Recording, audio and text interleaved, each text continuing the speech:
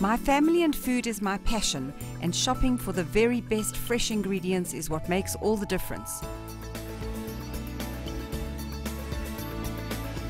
Join me as we go on a journey of heartwarming food filled with mouth-watering dishes, bound to get those taste buds tingling. Welcome to my kitchen.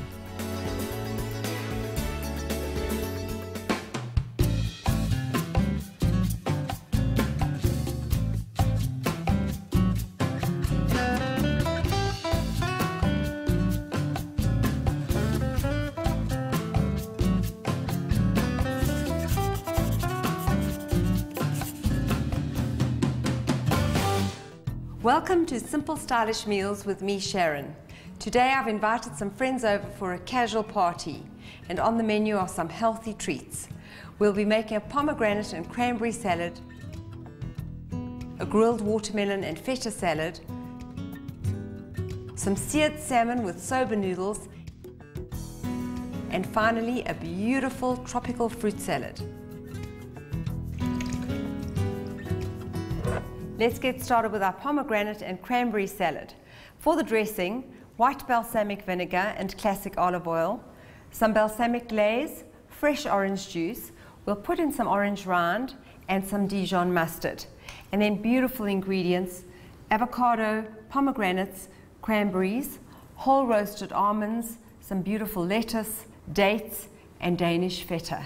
So let's get started with the dressing.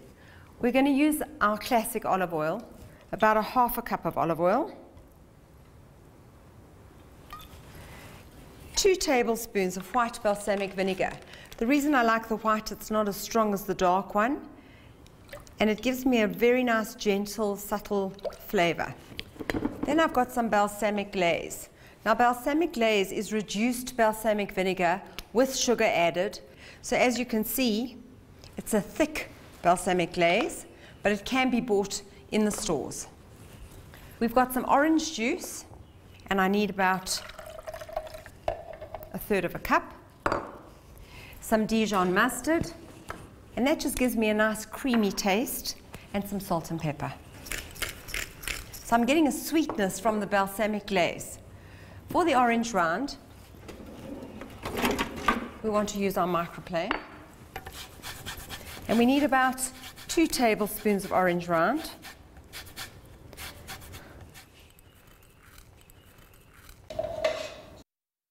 And we want to whisk that. Let's taste. It's absolutely perfect. Lovely orange fragrance coming through, the sweetness of the balsamic glaze, delicious. To segment the orange, we want to take the top and bottom off. It's best to have an even surface so that the orange doesn't roll around. Then simply take your knife and cut down, removing all the pith. So you want only orange exposed, and you're kind of doing it in a semicircle movement with a really nice sharp knife. Make sure you take off all the white. We want to go between the white of the orange to get out complete segments. So you need to go in with a very sharp knife at an angle, and you're going just between the white at an angle, pulling out just the segment of orange. So I don't want any of that cartilage that's inside the orange. And now we're ready to assemble the salad. So it's as simple as that. The lettuce is a mixture of fresh, beautiful baby lettuce leaves. So we've got some cranberries, which we're just going to scatter around. And the whole thing with the salad, it's fresh, it's casual, and it's very vibrant in color. We need some avo, and the avo we'll just cut into nice strips. This is the kind of food that I most enjoy. I'm a salad person, besides being a dessert person. So any kind of salad that's got unusual ingredients or something different, for me, makes the day a little bit different. And when I'm entertaining, I try and think of different things that I can serve my friends. Our oranges, and whatever's in season you can use. I've roasted these almonds and they blanched almonds on a baking tray, 140 degrees, about 10 minutes. They give you a lovely crunch to the salad. And they're very good for you eaten raw without the salt. Some beautiful soft dates. Scatter that over. And then some Danish feta, which is completely optional. And now the best for last pomegranates. So healthy, so pretty. They're like little pearls. And we're ready to dress it. I would only dress this just before you serve it so that your lettuce doesn't go soggy. And a drizzle, not too much, remember? Just a little drizzle. And it should drip through all the lettuce to the bottom of the platter. And I love finishing it off with a grind of pepper. And there you have it, a delicious pomegranate and cranberry salad, perfect for my casual party with friends.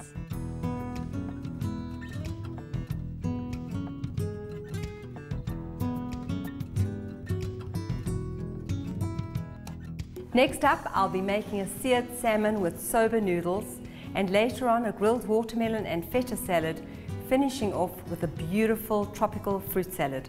If you like this recipe, don't forget you can get it on the Home Channel website. Don't go away, we'll be right back.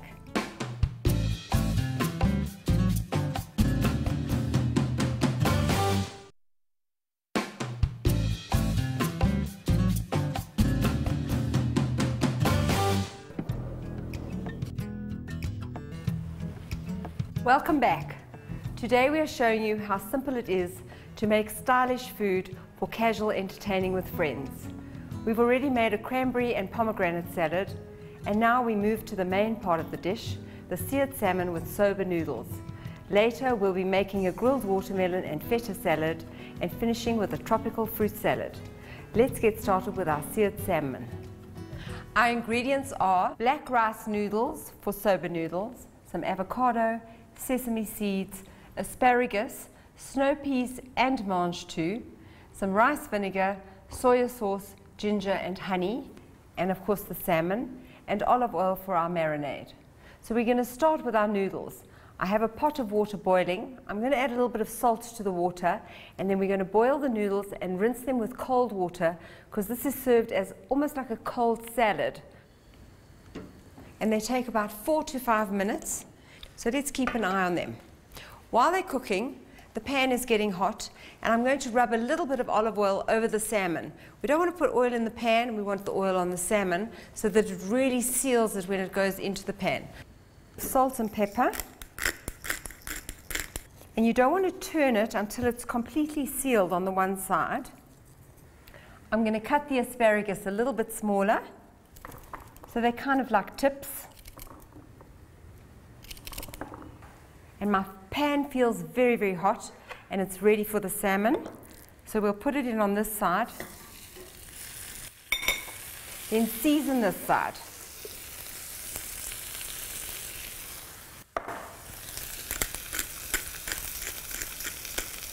Check our noodles. I think they're ready. Perfect. So we need to drain them. But I want to keep the water because I'm going to do my vegetables in the same water. So we'll pull them out.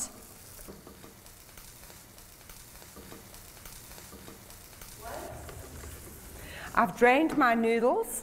My fish looks like it's ready to turn. Very gently we're going to turn it. There we go. And now we'll just cook the other side and put our vegetables into the same water for about two to three minutes. So the sauce is rice vinegar, some honey, about a tablespoon of soya sauce. In fact, I'm going to do two. I need the olive oil, also about two tablespoons.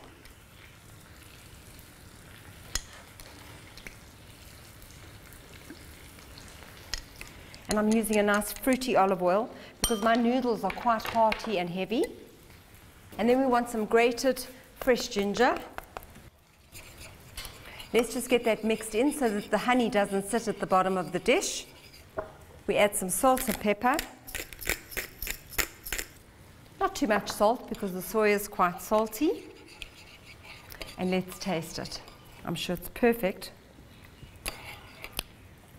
It's delicious. It's got lots of beautiful flavors. And I'm sure the vegetables are ready. They're perfect. Let's take them out and put them in some ice water.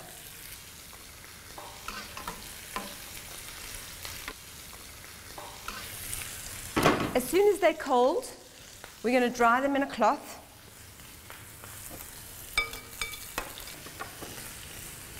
Just dry them. So the test of the salmon is when you pierce it and the fork goes straight through, then you know that it's done. If it's a little bit resistant, it's a little bit underdone in the middle, and I'm not too worried about that because salmon should be slightly underdone because it continues to cook while it's sitting on a plate. So let's just check. I think it's got maybe one minute to go. We'll put the noodles on the platter.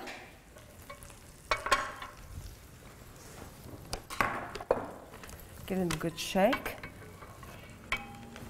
They look fantastic because you're going to get a beautiful contrast of colors. Just a few more on there. My salmon's done, so I'm going to take it out the pan and let it rest for a few minutes while we prepare the rest. And you can see this little bit of white protein that's come out of the salmon, and that's also an indication that it's ready cooked. So we'll rest it for just a few minutes. I'm going to spoon the sauce over my noodles. Our vegetables are dry. They're gorgeous, pretty, give you lots of color. I think that's enough. A little bit of avo. We're just cutting our salmon into big flakes. It's perfectly done, so it flakes quite easily. And you want to make it quite wholesome because this is really a main part of your dish. You get beautiful colors with the pink and the black and the green. A little bit of sesame seeds, just sprinkled over there. And the fish is still warm, which is so nice because you get a contrast of the cold noodles, the warm fish, the crunch in the vegetables. And to finish it off, a little spoonful of this amazing, fragrant, beautiful sauce. And there you have it, the star of the casual party, the salmon and soba noodle salad.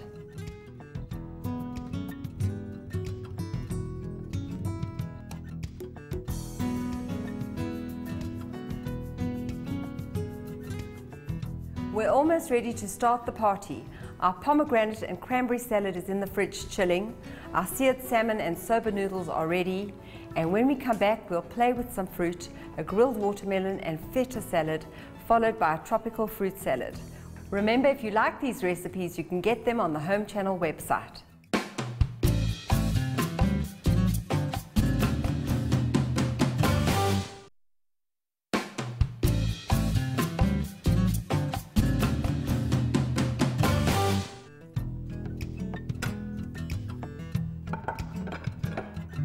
Socializing and entertaining should never be a stressful occasion. And today we're showing you some delicious dishes for a casual party. It's about keeping it simple, stylish and fresh. So we've already made a cranberry and pomegranate salad. Our salmon with soba noodles is ready. And now we're doing a spin on fruit, a grilled watermelon salad with some Danish feta and rocket. It's simple and delicious. And that's exactly all the ingredients.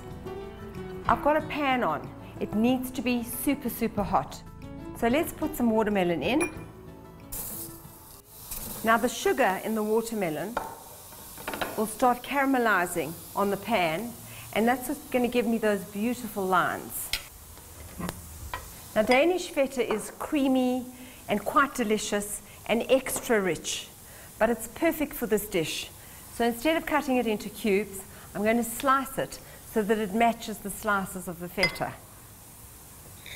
And you want to do quite thin slices because here it's about contrast of tastes, the sweetness and juiciness of that watermelon compared to the saltiness of the feta. We need to turn it straight away.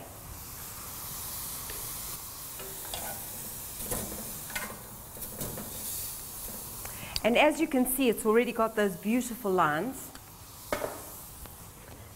Rocket, however, is peppery.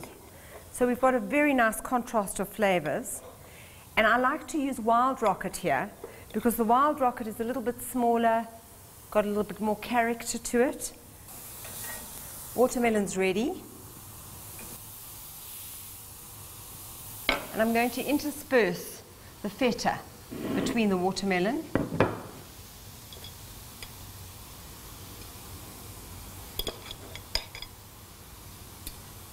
Now you want to let this cool down a little bit before you serve it so that the watermelon's not so hot. And you want to serve it at room temperature. This is the kind of food that's unexpected. You would never expect to have grilled watermelon. But it's really about surprising your guests with new and unusual tastes. And yet, there's nothing to this. It's quite simple and easy and just takes a few minutes.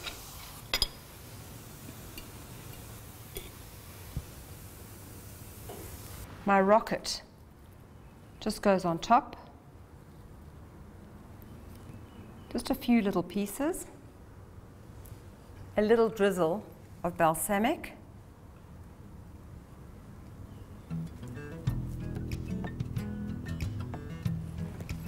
and some black pepper to finish it off. And there you have it, our grilled watermelon and feta salad with balsamic glaze.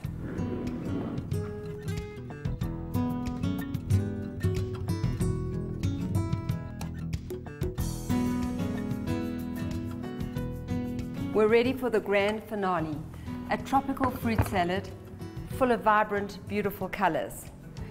So what we're going to do is assemble everything for me, it's like the ending of a beautiful meal. We've already made a cranberry and pomegranate salad, a grilled watermelon and feta salad, some seared salmon with soba noodles, and to bring it all together, some delicious fresh fruit. What I love about a fruit salad, which makes it just a little bit different, is the way it's sliced. It sounds so silly, but actually slicing the fruit in a different way makes it look really beautiful. So we've got some strawberries. We're slicing them quite thin. So nothing's cut into cubes here, nothing's cut into squares. We're having lovely fresh slices. I've got lychees, pineapple, granadilla, kiwi, pomegranates, red and green grapes, blueberries, raspberries, gooseberries, nectarine and peaches. What more could you ask for? the colors themselves stand out. So in it go the gooseberries, the green grapes, red grapes, and the blueberries, raspberries, pomegranates, lychee. Lychee always makes me think of tropical flavors. I seem to think it's Asian but it's just tropical, it's beautiful. Granadillas and fresh granadillas give you such a lovely flavor to a fruit salad. We're so lucky in South Africa to have such beautiful fruit available to us. And whenever I travel and I look at the fruit and how expensive it is all over the world, our granadillas are not expensive at all. When you travel to Australia or America, first of all, they're not in such abundance. And second of all, they're just so expensive you can't even afford to use them. So we're slicing the kiwi into nice thin slices. And adding that. Some pineapple, a beautiful yellow. And again here we're slicing it differently. So into tiny little thin slices. Let's add that. And then I've got some beautiful dessert peaches. Now when you cut this fruit, you want to cut at an angle into the pip. So we're going to get beautiful flat semicircular slices, and that's just adding to the slices that we've already done. If mangoes are in season, you can add mangoes or melons. Be careful with watermelon though. It tends to have a lot of juice in it and it doesn't last that well in a fruit salad. So we're adding our peaches, nectarine, beautiful, fresh. And we're going to cut that also, just in little thin slices. Now the problem with a fruit salad is that if you add big packets of everything, you'll end up with a really, really huge fruit salad. And for me, there's nothing nicer than a fruit salad that's made fresh. So I'd rather make one every day if necessary, because as long as it's fresh, it's got a totally different taste. So be careful that you don't add too much of anything. The last thing I'm going to add is a little bit of lime rind. It somehow just finishes the whole thing off. And we don't want the juice, just the rind. Now you'll notice that I haven't put any juice into this fruit salad, simply because all the fruits have their own juices. And if I add juice, I'm going to land up with far too much. And I like it just simple and plain on its own. Let's give it a toss. And we need to be quite gentle because the raspberries are very delicate. We don't want them to break too much. These gorgeous colors make you just want to jump into the bowl and eat the whole thing immediately.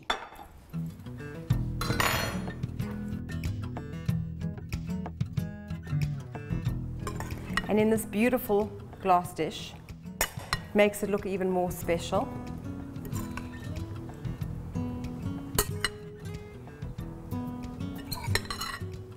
And there's nothing nicer than a very, very cold, chilled fruit salad.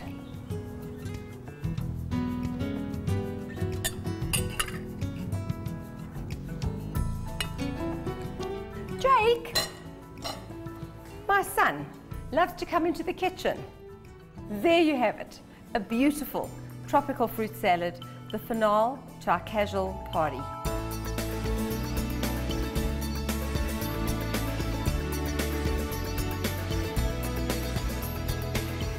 It's almost time to let your hair down and have a party. The next time you invite your friends over, remember how quick and easy it is to prepare a meal just like this. We've made a seared salmon and soba noodle salad,